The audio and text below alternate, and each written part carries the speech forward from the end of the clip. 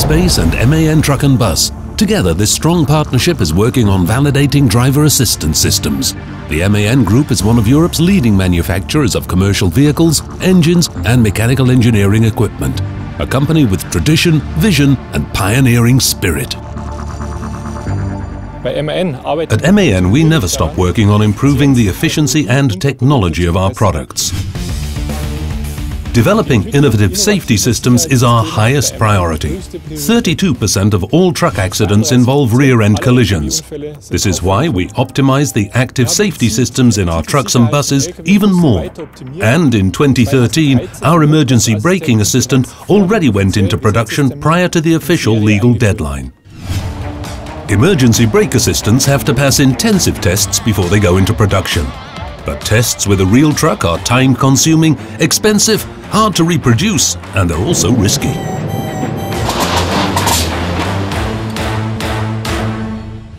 Tests on a real vehicle will still be necessary in the future, but aren't enough to satisfy the demands on reliability and safety. Complex, highly networked systems such as emergency brake assistance and GPS cruise control are precisely the systems that require intensive, systematic validation within the ECU network, which is why we use hardware-in-the-loop test benches for our system tests.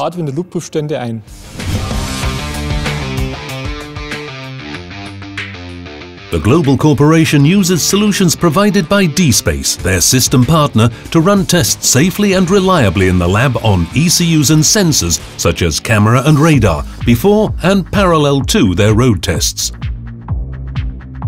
The dSPACE hardware-in-the-loop simulator at MAN is where the real sensors and ECUs are directly connected, providing automated tests of network driver assistance systems.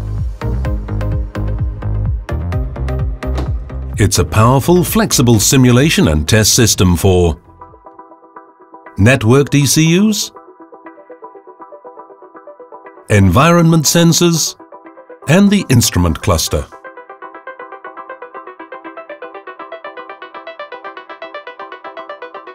The camera and radar sensors are integrated directly into the simulator.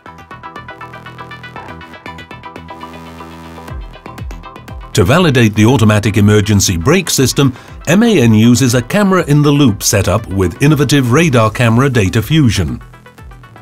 The system now recognizes emergency situations more precisely and safely than ever before. Together with dSPACE, MAN has developed a solution that automatically validates the combined warnings generated by the camera and radar system.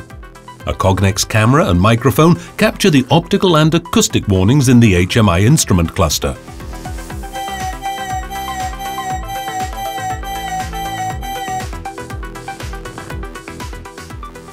The data are tested directly in the simulator. With the dSPACE system, we can evaluate the response behavior, from the emergency braking trigger by the sensor system up to the displayed warning in the instrument cluster and compare the run times. Using a Cognex camera to analyze the image on the HMI, we can test the entire system chain in just one run. MotionDesk lets you check the plausibility of tests faster through direct visualization on the control panel. In ModelDesk, all of the sensor models can be configured easily, and the tests are controlled with ControlDesk.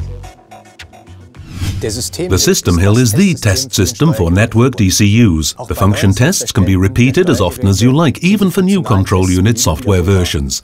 This lets us compare the results over different test cycles. The dSPACE system gives us the major advantage of using just one single simulation and measurement system to perform recording and analysis.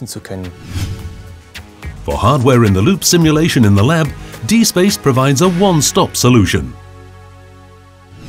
With our dSPACE HIL, I can give the motivated, highly qualified employees in my department the tool they need. They need to focus on the vehicle's software capabilities, not on the test tool, which means the test system has to be absolutely reliable and easy to use.